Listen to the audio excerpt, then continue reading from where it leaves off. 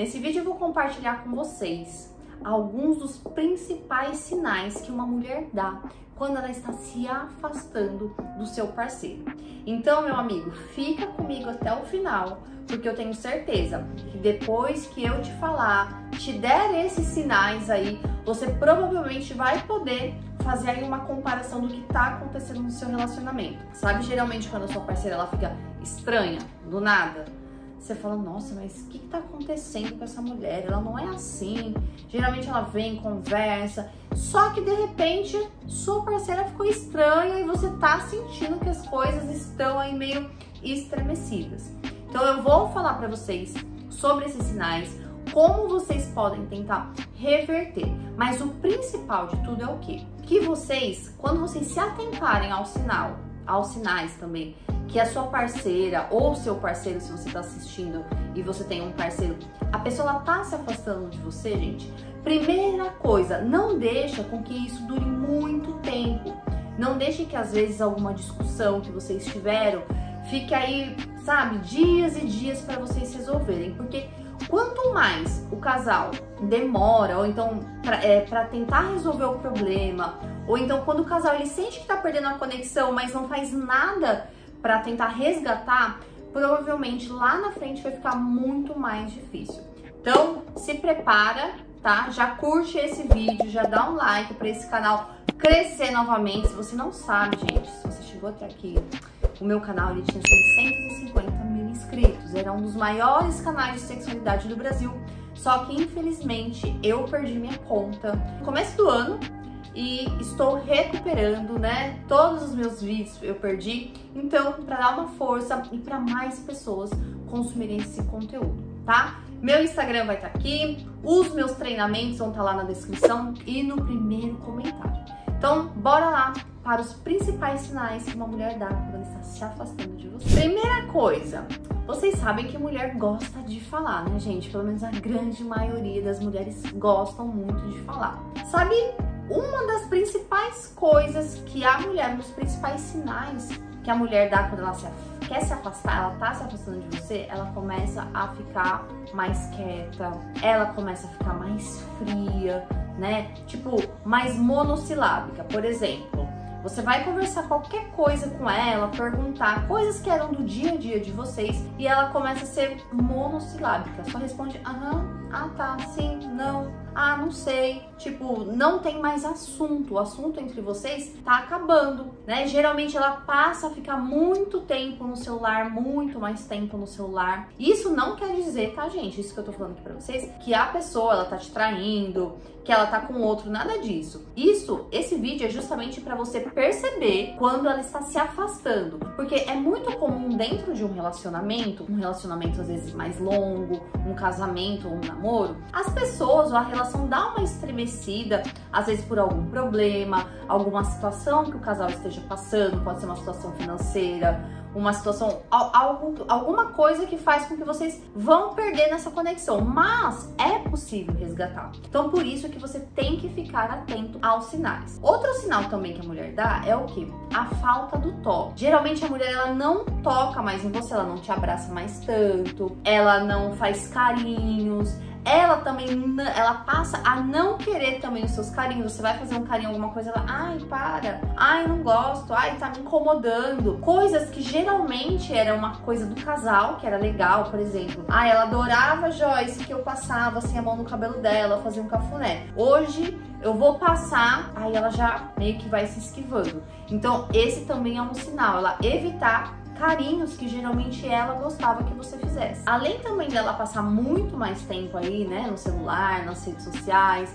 ela pode ficar às vezes trancada no quarto, começar a assistir séries sozinha, se isolar de você, parecendo às vezes até que ela tá no mundo da lua. Sabe quando a pessoa tá ali, tipo aérea, que você fala com a pessoa, a pessoa, né, demora ali para pegar no tranco. Então, esse é um dos sinais. E bom, se você tá percebendo que o que eu tô falando você fala, nossa, Joyce, isso tá se identificando, tá acontecendo lá em casa? Primeira coisa, gente, é parar e conversar. E geralmente, qual vai ser o momento que você vai ter essa conversa? Não espera para você ter essa conversa na cama. Espera um momento que esteja somente vocês dois. Fala pra ela, marca com ela. Às vezes fala assim: olha, hoje à noite tem como a gente, né, ter uma conversa, queria conversar com você. E vai com jeitinho, sonda, amor, o que que tá acontecendo? Fala pra mim, eu tô percebendo, eu tô sentindo que você tá estranha que você está indiferente. Eu fiz alguma coisa que te magoou? Vocês têm que aprender, gente, a falar, a se comunicar. Por quê? Às vezes a pessoa ela tá quieta, ela tá estranha, ela se afastou de você. E aí você não pergunta pra pessoa, né? A pessoa tá ali, fechou a cara. E aí você já começa a imaginar.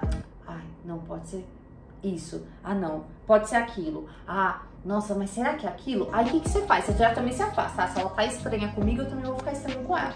Só que você não sabe nem o que está acontecendo. E muitas vezes a gente sofre muito mais pela criatividade dos nossos pensamentos do que realmente pela realidade da situação. Muitas vezes você não sabe nem o que está se passando, né? A pessoa se fecha de uma tal maneira. Então é muito importante que vocês tenham essa comunicação e esse diálogo.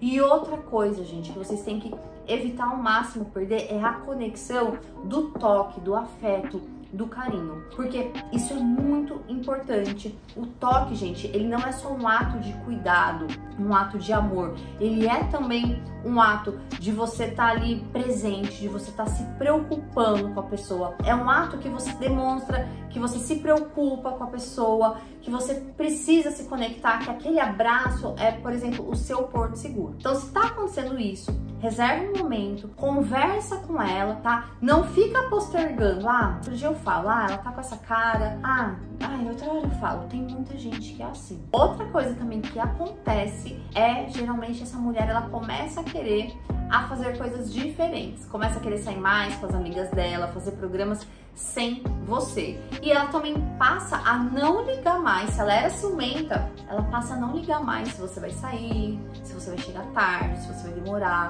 Ela não começa. Geralmente, né, a mulher questiona, ah, amor, você vai aonde? Não sei o quê. Se ela é desse tipo e ela, para, ela passa a não te perguntar mais nada, então geralmente esse é um sinal que você tem que ficar alerta, tá? Porque muitas vezes, gente, isso acontece não só com as mulheres, mas com homens também. Muitas vezes, uma pessoa ela tá infeliz dentro de uma, uma relação, ela tá insatisfeita, ela tá com vontade de terminar, de se afastar às vezes, de você. Só que aí ela não tem coragem de falar isso pra você. Então aí muitas vezes a pessoa fica o quê? Ela, ela cria uma barreira, ela cria um bloqueio, ela cria uma situação a ponto, claro, é um pouco de covardia, gente, mas a ponto da outra pessoa ficar tão desesperada até fazer com que essa outra pessoa tome uma atitude. Ó, oh, o que, que é? O que, que tá acontecendo? Você não vai falar comigo? Tá com algum problema? Então pra mim chega, quem não quer mais sou eu. Então muitas vezes o casal, se ele não conversa, se ele não se comunica, fica muito difícil. E aí quando chega nesse ponto, tem discussão, tem briga. Por isso que é tão importante esse contato, esse afeto físico. Porque quando o casal troca carícias, quando o casal é carinhoso um com o outro no dia a dia, com toques, com carinho, é carinhoso com as palavras. Provavelmente, quando esse casal ele passa por uma dificuldade ou ele tem alguma situação para enfrentar junto, dificilmente essas, esses pequenos problemas eles vão virar discussões, porque esse casal ele é conectado, tá?